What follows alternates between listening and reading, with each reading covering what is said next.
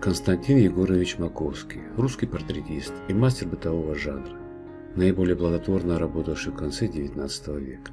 На рубеже столетий художник стал весьма популярен среди российской знати.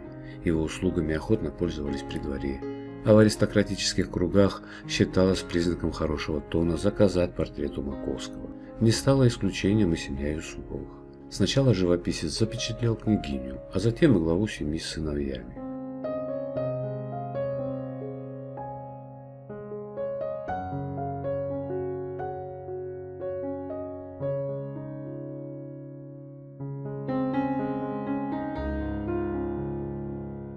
Автор не случайно изобразил Зинаиду Юсупову в традиционном русском наряде.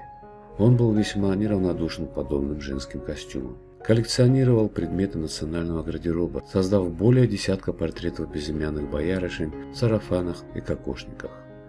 Такой образ пришелся по душе Зинаиде Николаевне, которая, по рассказам современников, была наделена недюжинным артистизмом и не раз участвовала в любительских спектаклях, облачаясь в русский наряд, чем всегда производила большое впечатление на публику. Картина в полной мере передает не только красоту героини, но и раскрывает ее благородную натуру. Она была написана для домашней коллекции, но со временем заняла достойное место в ряду шедевров портретного жанра.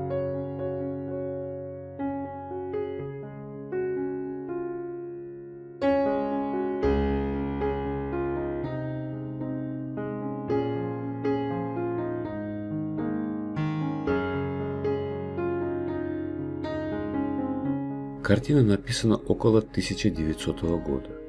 Зинаида Николаевна, одна из самых заметных аристократок конца 19 начала 20 века, изображена в стилизованном национальном наряде. Каждая деталь ее костюма, будь то украшение на кокошнике, золотая вышивка на рубашке или узор на сарафане, проработана тщательно и с большой любовью.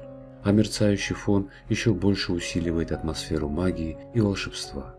В этом произведении в полную силу проявилось умение Маковского передать женскую красоту без излишней вычурности, присущей салонной манере, и продемонстрировать характер модели.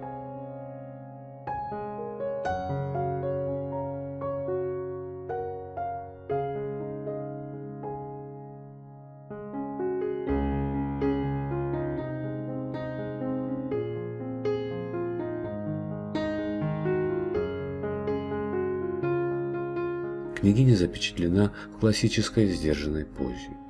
Руки сложены на животе, тело развернуто в три четверти, гордая посадка головы подчеркнута высоким кокошником.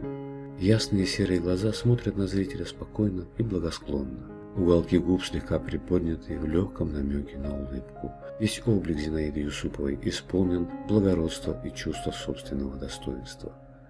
Нежный румянец на щеках, теплое сияние кожи – Изящные пальцы создают хрупкий и утонченный образ одной из самых красивых женщин эпохи.